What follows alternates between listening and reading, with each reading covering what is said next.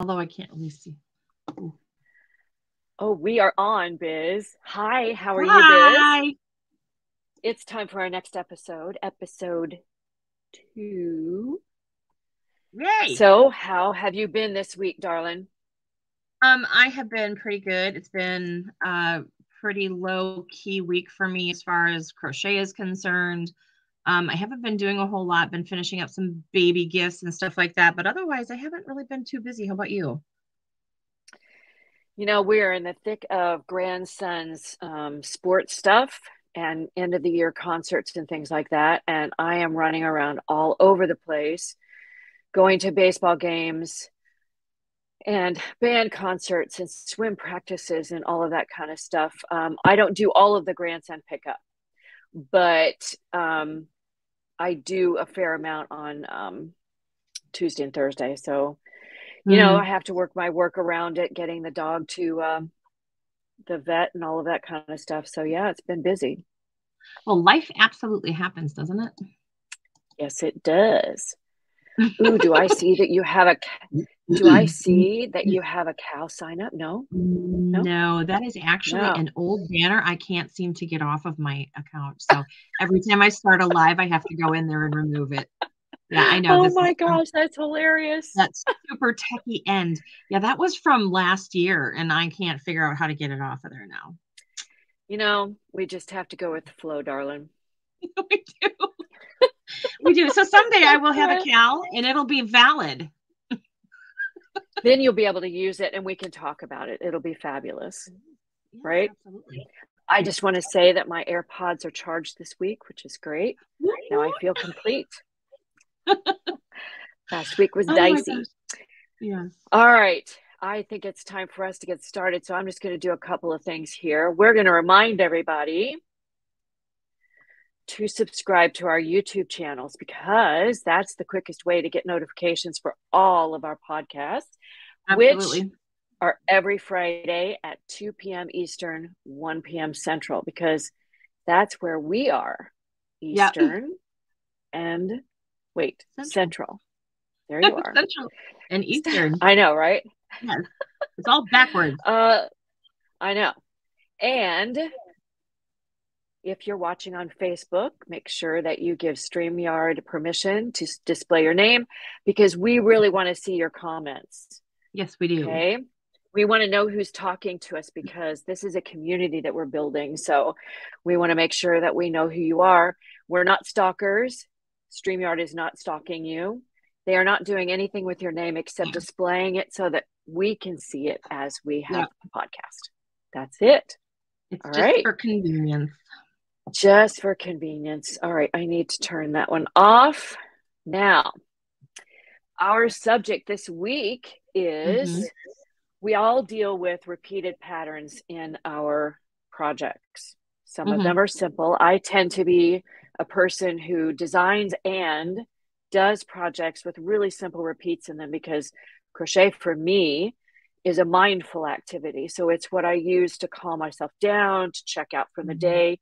Even if I'm working on something for the business, it's usually something that keeps me calm and helps me wind down from the Mhm. day. Mhm. But there are more complicated stitches that require our attention. So we're going Mhm. to talk today about how we can help you remember those repeated stitches without having to continually look at the pattern. I don't know about Mhm. you, Biz, but it just drives me nuts to have to keep looking at the pattern all the time. It slows me down. It, It's time just- consuming. I lose my place um, Mhm. half the time, and then I have to go through the line again and figure it out. So we're going to give some tips so that we can Mhm. kind of pull ourselves away from the pattern a little bit. Mhm. So I'm going to let you start. What would be your first tip? My first tip would be to look over the pattern and make sure that you read all of the notes that are provided by the designer because a lot of times in those notes they're going to put information in there that will help you or instruct you on the kinds of repeats that you're going to be looking at throughout the pattern. Right. And a lot of times it might not just be repeated stitches across the row or across mm-hmm. several rows. It might be a repeat of this many rows. Let's do that yes. again. And yes. let's see how that, and that actually saves you time once you work through the first group. Mm-hmm. For instance, I'm working on a square right now that has, once you start, here we go. Once you start the pattern, mm-hmm. then it just repeats. Right, right, exactly. Yeah. So, I mean, we can kind of skip, let, let's just skip right away because I know that we've got a whole list of things that we want to talk about. Oh, yeah. But as far as uh, because you're doing that pattern repeat, let's talk about like when you're making a sweater and you're doing sleeves okay. and mm-hmm. you've got the the pattern will tell you I want you to do an increase repeat every four rows. All right? mm-hmm. So, um, in order to maintain or make sure that um, you are doing the appropriate amount of repeats and increases, the best way to keep track of that and now if you're doing a pattern like what you have there where that's it seems like it's fairly simple to remember that repeat through mm-hmm. however i mean if you are setting things down and walking away and coming back and you're not real mm-hmm. versed at um you know remembering where you were stitch markers are going to be your are your life i know that's really teeny tiny it's a stitch burger. these are my favorite kind because they go in nice and simple and they can mm-hmm. close mm-hmm. and it's kind of like a fancy um, safety pin. Yeah. So using those to mark your increase rows every single time, and I do it whenever I make sweaters because I I didn't used to do that. And so I would lose track of where I was and I would have to every single time I wanted to figure out, oh wait, how many of these did I do? Am I at the right amount of increases? What am I doing? I'd have to go back and I'd count every row. Yep. So I learned over time to put stitch markers in on every increase row because they're going to have you do it a certain amount of times in order mm-hmm. to create the length that you're looking for. This way, all you have to and do I is count them. Yeah, I don't know about you, but sometimes it's really difficult to see where the increases were. So if yes. you're using tiny little stitches like single crochet or something like that, it might be really difficult to see where that increased stitch is. So if you, yes, I'm going to advocate that you put stitch markers at every increase row so you can see mm-hmm. because sometimes it will it will say increase this many times yes or this many stitches when you get to this many stitches so that yes. helps you um, know where you are by marking every increase row absolutely i completely agree with that and it'll save you so much time and headache Mm-hmm. And the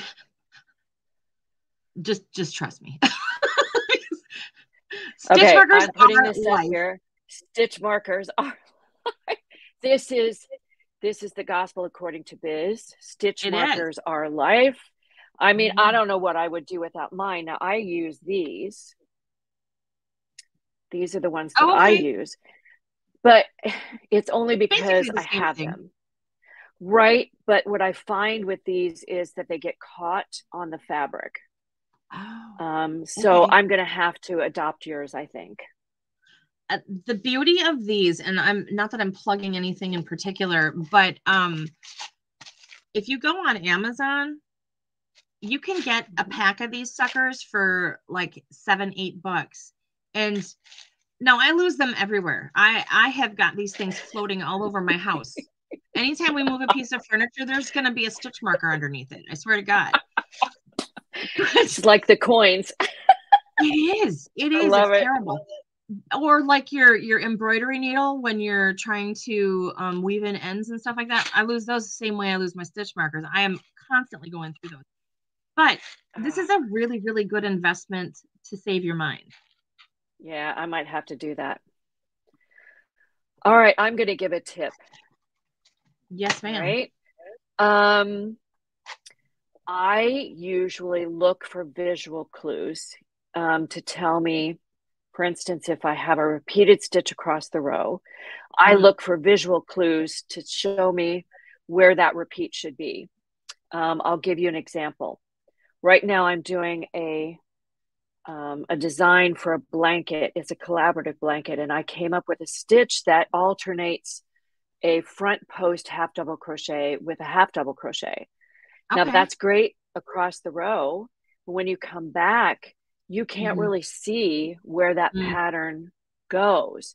So mm-hmm. I've given myself a visual clue that, all right, that recess stitch is the one where I put the front post and the mm-hmm. one that just sits in the top of the stitch is the one that goes in the stitch I can really see. So I've figured mm-hmm. out a visual cue so I'm not constantly trying to figure out where that stitch goes. Do yes, you do any great. anything like that? Absolutely. Um anytime that I have any kind of a repeat, well, I'm going to um I'm just going to show this one. Okay, so this is one of those ones where it's reversible but you don't normally think about um, how that gets made necessarily unless you're going through it. So what I did, I had no idea that the pattern bounced back and forth from front to back to front to back. And so what I had what I did for that is um I'm on the front part of this and instead of because you would think oh that every time you go it's just going to bounce back and forth. It's not it stays in the front and then it bounces to the back and then it stays in the back and then it bounces to the front. So for mm-hmm. myself, I created, like you said, a visual clue that if I'm in the front, double check to make sure that you have two of them in the front because the next move is to bounce it to the back. Otherwise, if you just if you just go to the back of the pattern right away instead of you know doing two in the front, you're not getting that same crisscross pattern and you're getting it all mixed up. So there's lots of times when you have to look at a pattern and create ideas in your head of how you're going to move through this so that you constantly remember what you're mm-hmm. looking for. Yeah. Yeah, I agree. So yeah, I, I, mean that would that would be my visual clue one is, you know,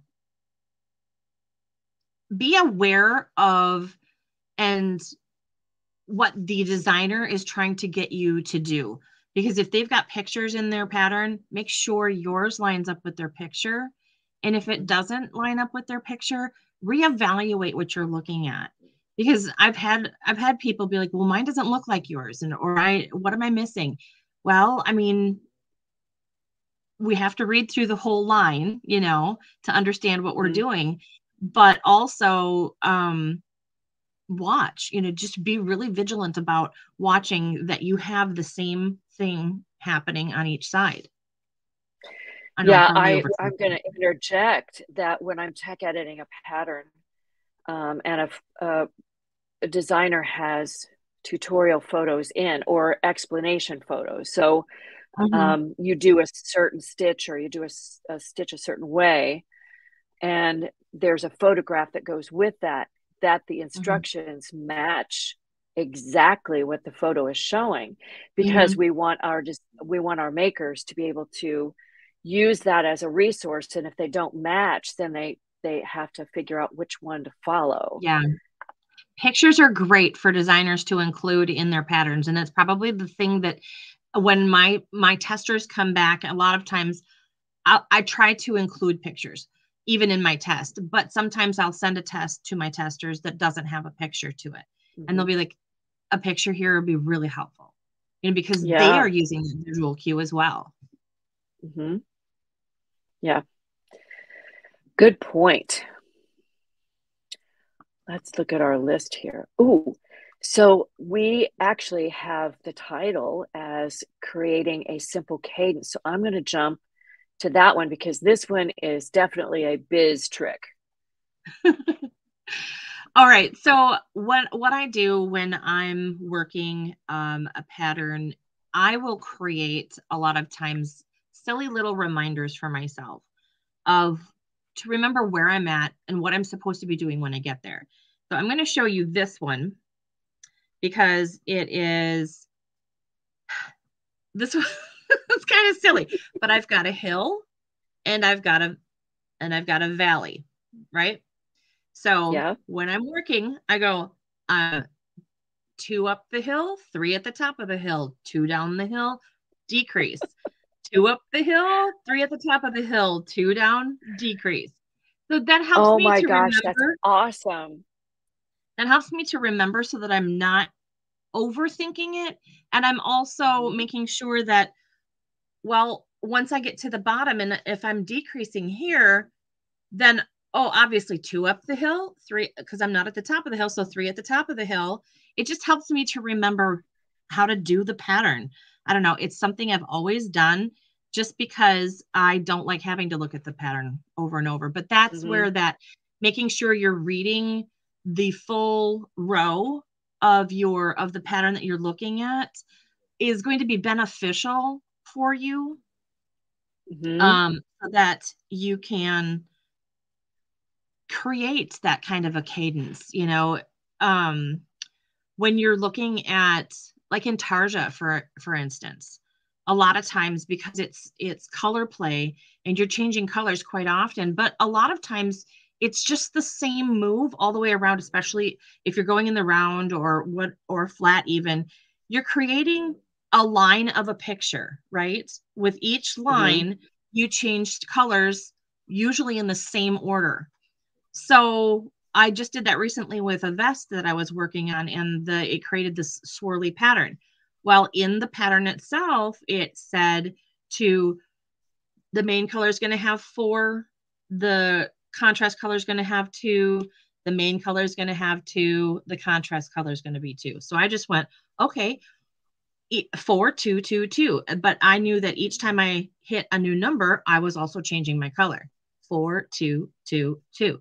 Four two two two. And i just did that all the way around.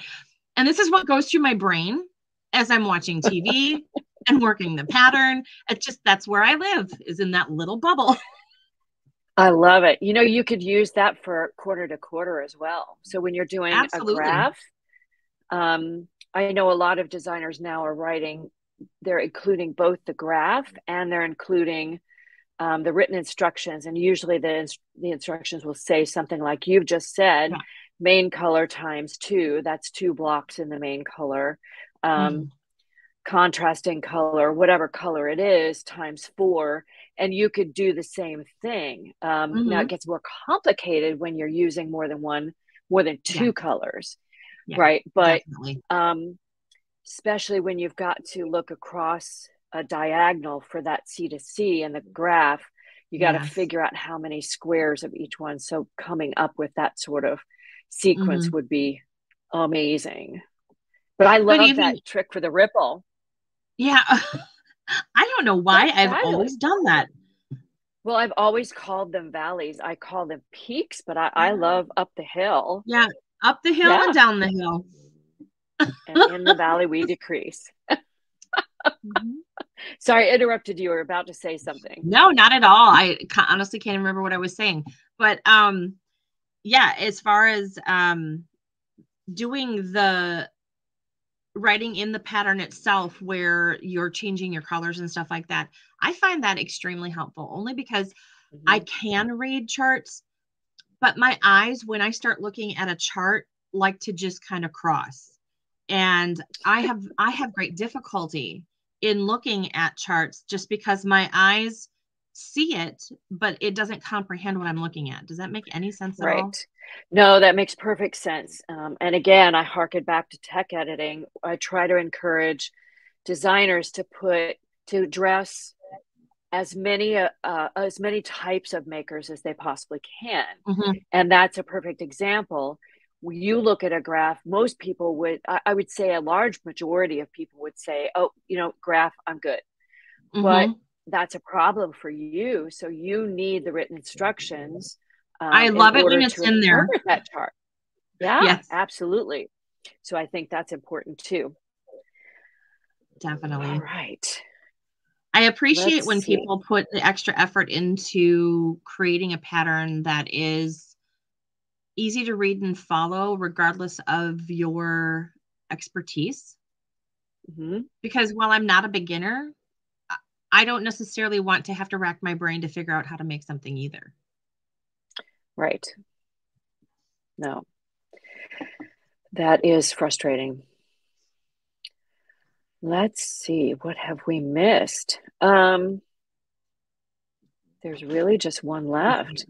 Um, we, oh, I know. this goes back to your stitch markers are life. Mm. Um, Mm. right? Determine where the repeats are, where the repeat starts, and mark that so that when you start a new one, you know you're ready for it.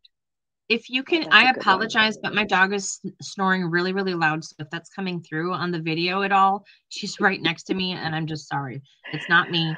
I'm not making weird noises. It's my dog. I, I think that's wonderful.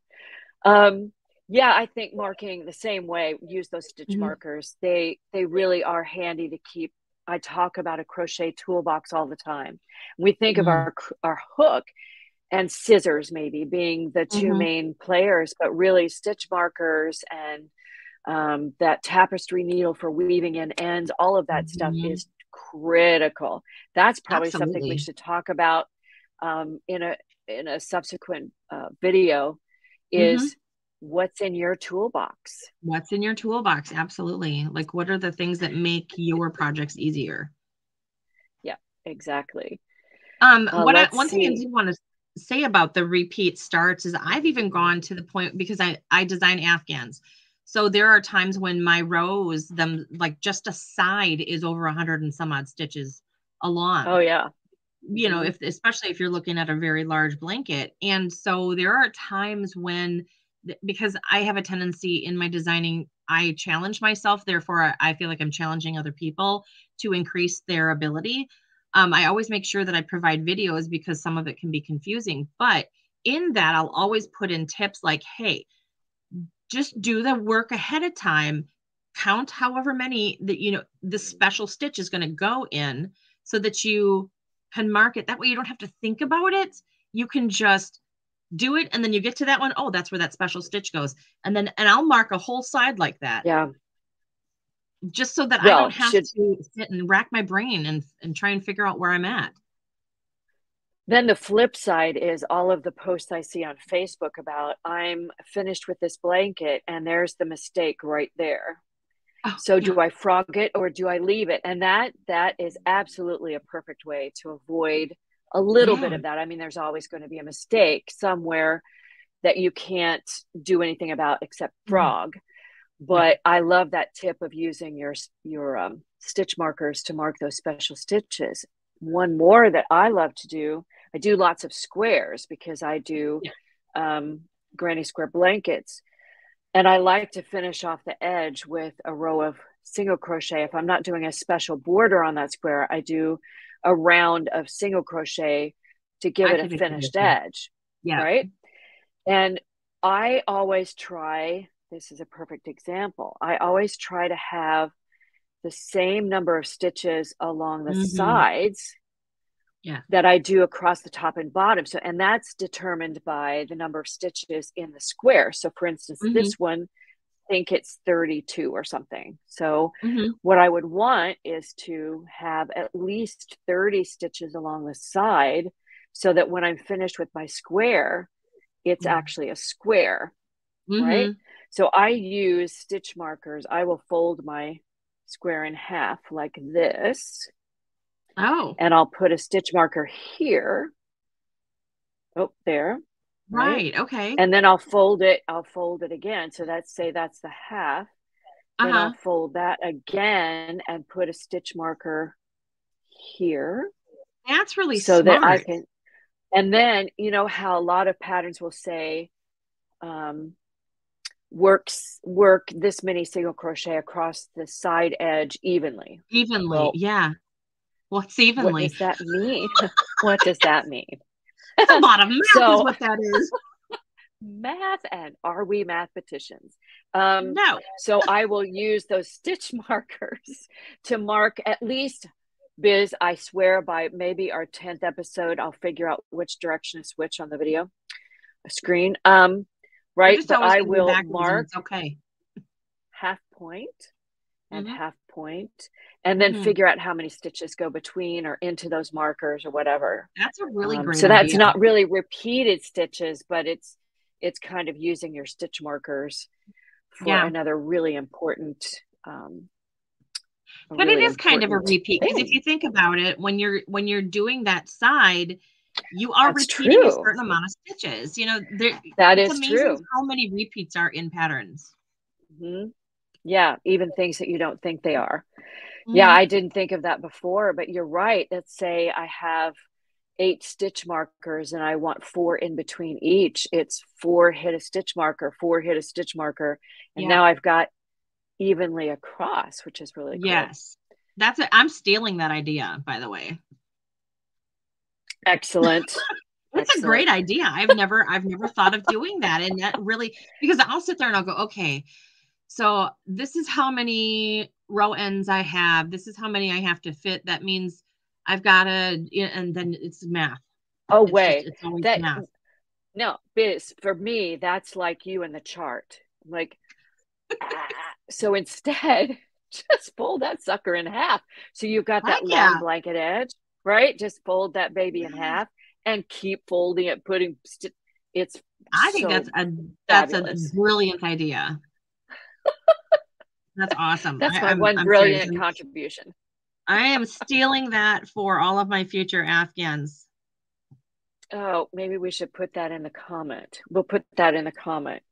Um, to work evenly along an edge, use stitch markers to create mm-hmm. a repeat. Look at that. Look at us being so smart. smart. oh my gosh, that might be it. It is Friday afternoon, and it's it, Cinco de Mayo, for which I am making taco bowl. So am I. I. No We're way. this is gonna sound so terrible. We... Isn't everybody Hispanic on um Cinco de Mayo? Just like everybody is Irish on St. Patrick's Day. St. Patty's Day, right? Yeah, I think mm-hmm. you're right. Um, yeah, I I'm not going to claim to have any um, any Spanish blood in me at all. I'm no. purely um, Western European, British Isles kind of person. But um, mm. today we get I've, to celebrate. a touch of Italian in there, but that's Latin. Nice. Um, that's awesome. So we're both having tacos. Yes. That's probably in the rest of the world. Yep. Yeah. Yeah. Well, Biz, have we covered all of our points? I think I think we, we did as far as repeats are concerned. Sure. But I mean, speaking of repeating, what's come back on TV? speaking of repeating, well, um, a new episode of NCIS, although with the writer's strike, there may be one or two episodes and then they're done, right? Um, oh, did you know a writer's strike? Oh, do tell. Now, this will date our podcast, right? But That's okay. Um, this week, Hollywood writers went on strike. And wow. they did this, they've done this before. So, what happens is um, all of the shows start to grind to a halt, and you'll start to see lots of reruns. Mm. Um, but NCIS came back with a new episode. I watched it. I I don't stay up that late. Um, here it's broadcast at ten o'clock. I'm in bed mm. by then, um, or nine o'clock. I'm still in bed by then. Um, so I watched it on Tuesday night if there's not a baseball game on. Um, and this the week the story was really great. They did a great mm. job of developing the story and putting a zinger in at the last minute. I mean, I pride mm-hmm. myself in being able to figure out what the twist is. Yeah. Totally, totally blew me away this time. Well, that's Just good. Didn't see it coming. I know. Keeps it interesting that way. It does. What have you watched this week? Oh, oh, okay. So I have True Confessions here we were desperate because our um, trash reality TV shows that we typically watch together, um, we ran out of them. So oh, we no. have watched, yes, we have watched all of the episodes, and there's a whole new season of the challenge that, and that one's our favorite one because it involves sports as well as the trash reality TV that my husband loves so much. Um, but the uh, season is 24 bucks and I refuse to spend that much money on a season of TV. Wow. So I'm just going to have to wait until it's either free or it's seriously reduced in price. But since we ran out of stuff to watch, and I refuse to watch all of his shows that he's watched, you know, 50 times already. Um, we started watching Game of Thrones. And so we love the medieval aspect of it, and the story is pretty interesting. We're in season two, but I am going to say this is not a family friendly show. And I, we were talking a little bit before we started our um, our podcast today, and I'm telling you, I feel like feeling a little bit of conviction in my spirit because this is uh this is a really raunchy show. Um, there's a lot of goriness and there's a lot of gratuitous um, nudity. Like, was it really necessary? Really? All of that was not needed. So, yeah. Um, I've already well, you know started what? kind of fall out of love with it already. My husband, of course, is a diehard and he'll watch every episode. Well, there you go. I I did try to read the books. Um, I stopped because there were so many characters and the the storylines were so um, interconnected that I almost needed a map to figure out who I was mm-hmm. reading about. And of course, we're not dealing with English names here, no. so I couldn't even in my head. I don't know when I'm reading a book if I can't pronounce the names in my head. I just skip yeah. over the character names and then I get confused. Right. So. Well, and then you don't really have that connection with the character anymore. Mm-hmm. So you lose yeah. interest in them. Yeah. So Game of Thrones, I've I've thought about watching it, but I'm kind of glad to hear your assessment of it because that would kind of turn me off. And it's a shame because yeah. I think it's a really good story. And I understand that the graphics and the cinematography is oh, fabulous. It's gorgeous. I mean, it really is because my husband and I talked about it. I'm like, why do you like this show? And you know, because we were having a con- conversation concerning the amount of gratuitousness of everything in it. And um, he said, you know, I don't watch these shows for the characters because me, I'm, you know, me, I'm character driven. I fall in love with the people. Same. I want to know what they're doing. I want to know how it turns out for them. You know, there's a lot of deaths so don't get too connected or too attached to anybody in this show. If you're watching it, it's kind of like um, Walking Dead. If you watched that at all, um, they didn't have any regard for who they killed. And if you loved them, you're pretty much guaranteed that they're not going to stay around. But anyway, um, back to why, we love it. But, um, he said that I love, I love medieval the look. And he said, when I'm watching this, I'm not really, I'm like, he said, I'm watching the characters. And of course, I'm paying attention to the story. But he said, I watch the background. He said, I watched mm. how they have it set up. He said, I watched the, the regalia that they wear, the costumes, the, all of that stuff is what draws him in. And it's so well done. I mean, it is beautiful. And yeah. it's on par with a Lord of the Rings as far as its mm. quality. Oh so, my gosh. And so I understand that story, the the character interweaving that you're talking about in the books. Because he and I were just talking about that last night. I said it's like Lord of the Rings, and I said, you know, watching this and being able to follow the storyline and the character production and all of that stuff. I said you should have an easier time watching Lord of the Rings, and he's like, well, I've already seen it once, so why would I watch it again? I'm like, what? What? You have to watch Lord of the oh My, again. Oh my gosh, they're classics. Like now oh you would gosh, understand. Absolutely gorgeous. Oh, they are. I love those my movies. Goodness. Well, but yeah, there's a know, lot of long, characters. Yeah, a lot of characters. But I had a feeling that that cinematography was off the charts. I had oh, a feeling. it's just gorgeous. It is. Yeah. I, I can't deny it. And I mean, the story itself is actually really well told. And that's where mm-hmm. you're like, okay, I love what's going on as far as the story is concerned. I really like most of the characters, but there are just some really nasty elements that are giving me pause as to whether or not, you know, it, like I said, my husband, once he gets into something and if he likes it, he'll watch it till he dies. But myself, I will lose my feels for it because of either the characters just it's the same thing over and over again and i'm already starting to fall out of love with the Lannisters and the Queen Regent and all of that business. and if you've watched um if you've watched it then Game of Thrones then you know what I'm talking about. Like I'm just over her.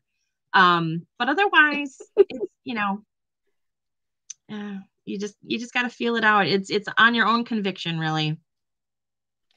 Yeah. neither recommend nor deny the show. But it sounds like you're going to keep watching it. I probably am for the time being. I can't, like I said, I it's it's one of those shows that causes me pause, but who knows? We'll see. Ask me next week. All right, I I it's on my list. Yeah, I um I can see the same thing happening with a lot of people with NCIS because um there you fall into the you fall in love with the characters. Mm-hmm. And the original cast had such a um, camaraderie and the way the way that they dealt with each other but they mm-hmm. it, it was it was like if you took one piece out it just didn't work well anymore yeah and so when they started to dismantle that original team like we talked about last week it it started to lose its luster but like your husband with Game of Thrones, he's invested. I'm invested yeah. in NCIS, and I will watch it till I die, um, yeah. regardless. And I, I think they've finally gotten another team that feels like it works well together. Okay. They have their own idiosyncrasies, mm-hmm. um, and they aren't weird with those idiosyncrasies. They they bring their own strengths to the table um, and they interact with each other in a way that you that's believable so okay. and like i said about the storyline i honestly didn't see that twist coming and that's that's what i do during the show is okay mm-hmm. i think it's this guy he's the one who did the blah blah blah and but this time i was completely caught off guard she she what she did it and it they awesome. they made it last till the very end. It was crazy. So yeah. Well, have you have did you notice how when they were first starting to replace some of the characters in NCIS, it was almost like they were trying to bring in another character that fulfilled the character qualities of somebody that just left. And instead of yes. just allowing them to be genuinely them, unique, somebody different, they were just trying to repeat what had already been successful. Does that make? Am no, it makes complete right? sense. And one of the one of the um, one of those exits that they actually did really well was when Kate was killed, and they brought Ziva in, and yes. they instead of making Ziva a, a Kate 2.0, mm-hmm. they she fought against what their preconceived notions were from yes. their relationship with Kate. Um, and she fought to be her own person. And she was mm-hmm. completely different. And yes. that worked super well. It did. I agree. I agree. Um, I know that Tony said that part of our the reason why we kind of fell off watching NCIS is because for about a three year period we didn't have TV. We just got rid of it. We didn't want to have it. So we were not able to keep up with some of the things that were happening. So we kind of came in at the end of the Tony Ziva thing, not understanding anything that had gone on all those years because there was no there was no streaming devices at the time where we could go back yeah. and watch those seasons and find out what had happened. Um, so by then I was not interested anymore, and Tony tried to watch it, and he just wasn't all that interested in it anymore either. But um, the Valderrama the character, I don't remember what his full name is. Um Oh, is, um yeah, he's still on it, right? Is he? Okay. We like him as an actor for the most part, but Tony said that he tried to watch it and he just couldn't get into whatever his character was. And that was kind of how where he ended up falling off. Yeah, I mean, that's a subject for absolutely another day, but um I see where you're going with that. It he mm-hmm. it was almost like he was trying too hard. He was trying to be the um the comic relief and it just mm-hmm. wasn't working. Mm-hmm. Um and it wasn't that same sarcastic I, level that Tony had. I'm sorry, my husband's yeah, Tony as well. Yes. I'm sorry. I just realized the fact that Tony's a character on the show as well. No, I know exactly what you're talking about. Um, I can't remember his character's name, but um, and I should because I watch that show every time they come out with a new one. But mm. um, I think he's settled down, and now because oh, they good. have a team, now that we know Gibbs is not coming back, and mm-hmm. we, you know, the team has to deal with things on their own. Mm-hmm. Now they've settled into the camaraderie that makes them. So I think that's the hump that's we had to get over. Yeah. Yeah. So anyway, I'm glad they finally I let the Gibbs hard. What's that? I'm sorry. No, I I agree with you. I'm glad that they finally. I just wanted them to finalize it. Just say for real what we're doing instead yeah. of stringing us along. Yeah. Yeah. Agreed. Alrighty. Have we solved all well, of that, the world's problems for this week? Well, of course we have. That's our purpose in life. Absolutely. so uh, we will announce what our next episode is. Mm-hmm. Um, so follow us on YouTube. We'll get that um, up in there soon. Um, mm-hmm. And our Facebook groups, we always announce in there. But in the meantime, make sure that you um, like, subscribe, and comment and follow and all of those fabulous things on mm-hmm. YouTube mm-hmm. and Facebook.